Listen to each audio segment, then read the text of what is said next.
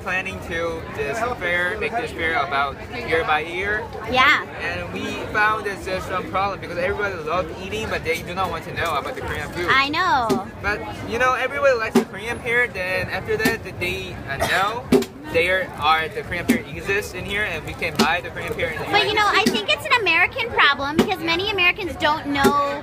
They've lost touch with the, the roots of the food. Yeah. So they just consume and they don't know what animal they're eating. They don't know what it even looks like, what Yeah. the life cycle is of that animal, where their here. food comes from.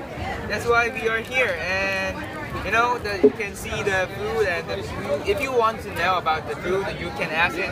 You know, there's Korean town nearby, Yeah. and now we are going to import Korean pears, and you can buy this Korean town. And Yeah. we hope to like just import the all Korean pear to other the market in the United States because you know you taste it really good. Right. There you go. There you go.